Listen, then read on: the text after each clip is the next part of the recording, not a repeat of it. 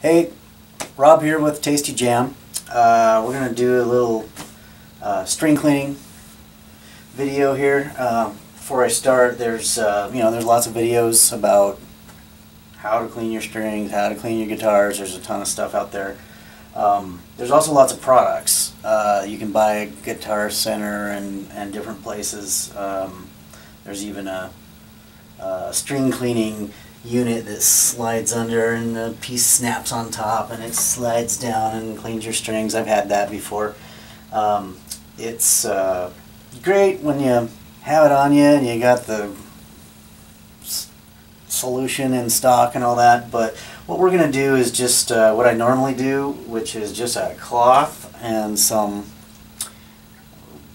rubbing alcohol uh, nothing fancy in fact a lot of the string cleaning uh, products you buy are going to be based with alcohol. So that's kind of my reasoning as to why I really don't spend the extra money on that. This stuff is cheap, easy, and it's always around the house.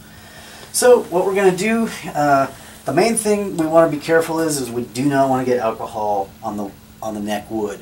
So what I generally do, I've got a t-shirt here I use this for one side of this t-shirt has got the you know the factory fold on it. I try to stay away from that. And I'll use the I'll use a thin part here.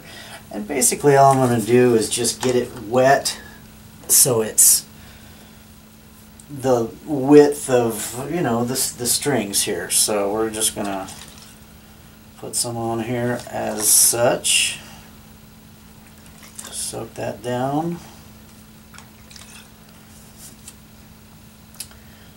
So we've got it soaked a good width of the strings. Now I'm going to fold it so I've got a dry on the back, wet on the front, so I'm not getting it on my neck.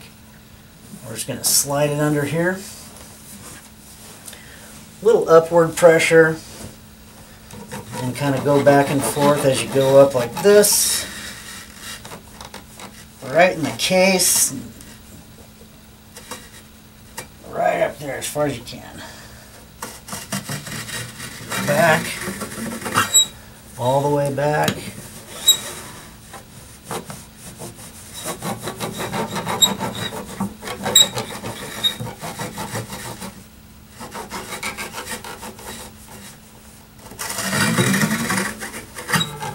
Just like that. As you can see, we've already got some junk on there, which is what you want to see.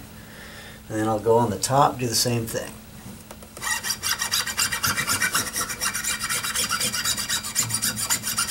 Not pressing too hard so we don't get into the wood. Once again, back and forth, up and down.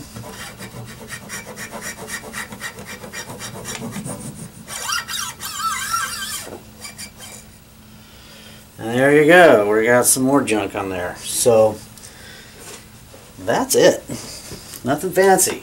Now these strings are way, way past due. I'm going to end up changing them anyway. We'll make another video on uh, on changing the strings and also cleaning the um, the neck here. Uh, if you look real close, you can see there's just nastiness inside that neck.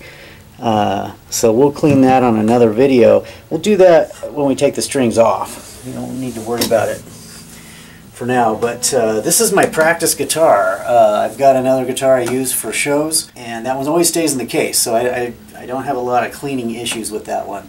Of course, on any of your guitars, uh, when you play, you should just plan on, you know, giving it a nice wipe down before and after you play. Uh, that'll keep the junk off there for a lot longer. Um, I honestly have to say I don't do that very much on this because I keep it sitting in a guitar stand. It's out, gets dusty.